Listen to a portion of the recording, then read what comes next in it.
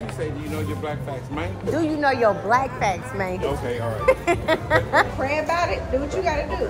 Dear Heavenly Father God, give me the right answer. Let's go. In uh, 2002, You might born when were you born? 2002. Man.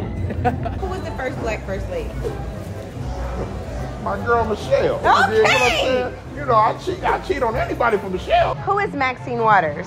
Maxine Waters, the famous Maxine The Waters. famous. Your The mentor.